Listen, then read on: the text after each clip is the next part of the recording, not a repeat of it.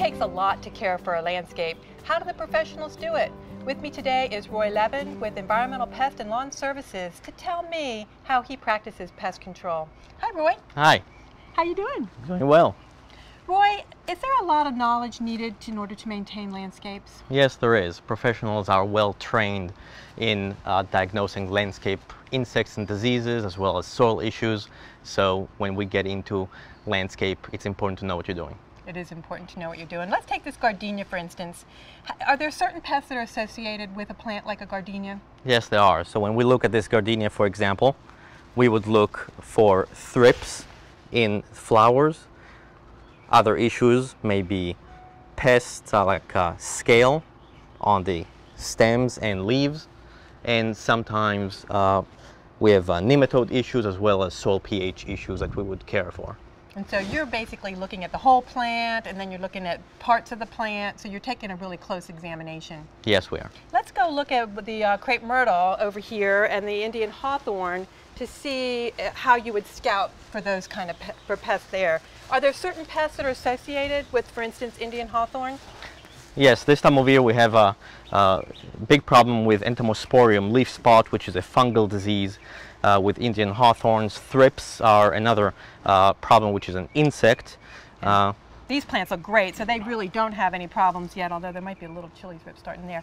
But um, so you would examine the, the tops of the plant, the bottom of the plant, but you would know, part of your knowledge is knowing the pests that are associated with that plant. Yes, there is a concept of key plant, key pest, so certain uh, insects and diseases go on certain plants. And so we would definitely focus on that. Okay, and then the crepe myrtle, what kind of problems does crepe myrtle typically get? Crepe myrtles get sooty mold, they get aphids, and uh, people often don't trim them properly. So if you walked up to this plant and it was covered in black, what would that tell you? Uh, that's sooty mold, which is a fungus that grows on the excrement of certain insects. And it, so it's telling you there's an insect problem. Yes, probably definitely. something that needs to be treated. Yes. Well, let's go look and see what's going on in the front yard. Sounds good.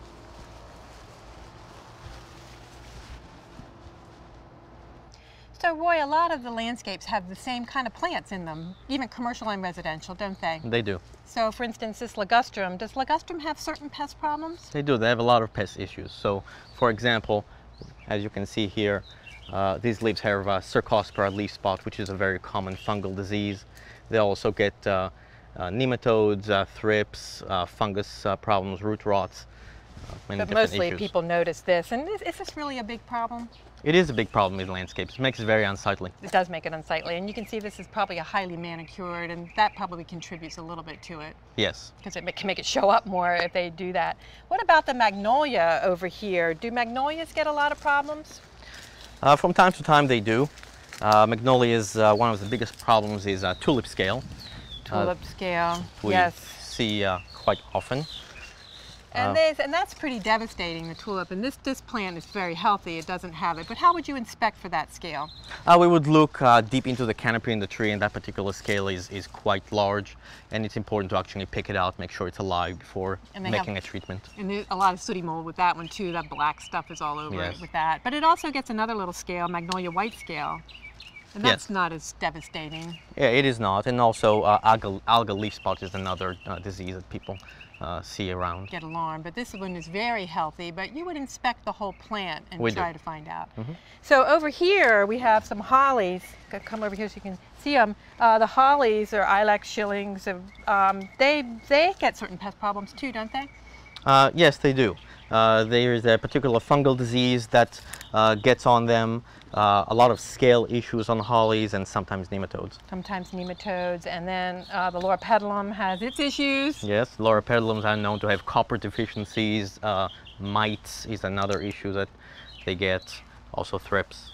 So really, if somebody's hiring a pest control company, it's pretty important for them to be, to know this, isn't it? To know what the pests are. Yes, it's very important that when you hire a pest control company for whatever representative to actually show you the different pests and not just go based on their word. So Roy, I want to thank you for being here today and showing me how a professional scouts for pests in the landscape. Thank you, Celeste.